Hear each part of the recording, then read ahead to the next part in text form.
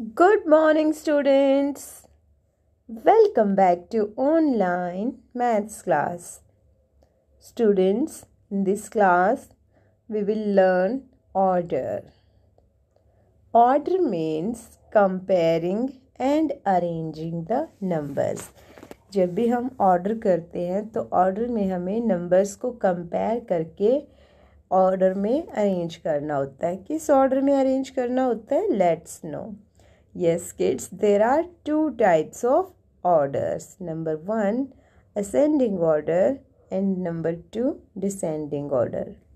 Okay, now let's learn it in detail.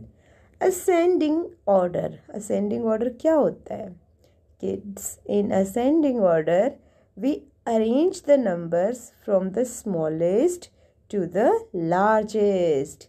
जब हम ascending order में नंबर्स को अरेंज करते हैं तो हम सबसे पहले सबसे छोटा नंबर राइट करते हैं। We start with the smallest number और उसके बाद नंबर्स जैसे जैसे बढ़ते जाते हैं स्मॉलेस्ट से बड़ा, उससे बड़ा उससे बड़ा और सबसे लास्ट में पहुँचते पहुँचते हम सबसे बड़े नंबर तक पहुँच जाते हैं। So smallest number will come in in the starting and largest number will come in the end okay yes descending order in descending order we arrange the numbers from the largest number to the smallest number अब जो descending order होता है वो ascending order का एकदम opposite होता है ascending order में हम स्टार्टिंग में सबसे छोटा नंबर राइट करते हैं बट डिसेंडिंग ऑर्डर में हम स्टार्टिंग में सबसे बड़ा नंबर राइट करते हैं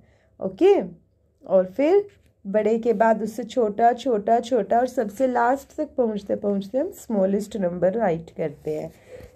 Smallest number will come in the end when we arrange the numbers in descending order, okay beta now you have to remember one thing that is while counting the small, while counting the smallest number comes before the others जब हम counting करते हैं तो counting करते वक्त जो smallest number होता है, वो बाकी नंबर से पहले आता है।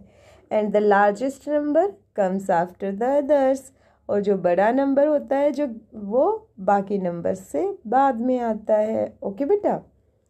Yes now we will arrange numbers in ascending order ascending order यानी कि smallest to largest okay here some numbers are given to us they are forty five sixty eight fifty three thirty seven and seventy three अब हम देखते हैं, जब हम counting करते हैं तो सबसे पहले इनमें से कौन सा नंबर काउंटिंग में आता है?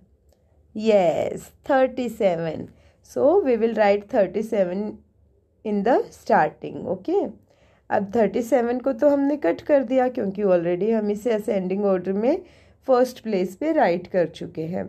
अब देखते हैं कि अब कौन सा नंबर सबसे पहले आता है जब हम काउंट करते हैं forty five sixty eight fifty three या seventy three yes now will come forty five then fifty three then sixty eight and in the end seventy three so so, हमने देखा कि जब हमने नंबर्स को असेंडिंग ऑर्डर में arrange किया तो thirty seven forty five fifty three sixty eight और सेवेंटी थ्री इस तरह से नंबर्स को हमने अरेंज किया। जो जैसे जैसे हम काउंटिंग करते हैं तो जो नंबर पहले आता है वो पहले उसके बाद जो आता है वो बाद में और जो सबसे बाद में आता है उसे सबसे बाद में राइट करना ओके बेटा? Now let's arrange the numbers in descending order अब इन नंबर्स को हम डिसेंडिंग ऑर्डर में अरेंज कर लेते हैं।